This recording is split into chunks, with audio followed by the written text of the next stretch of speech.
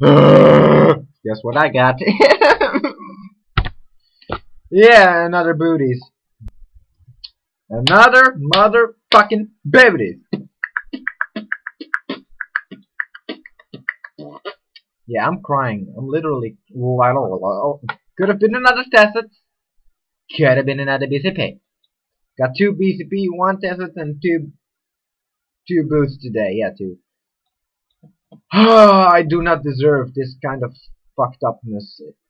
Like, uh, why? Are the odds are so against boots, yet all I get are boots. Well, not all, but I get boots the most.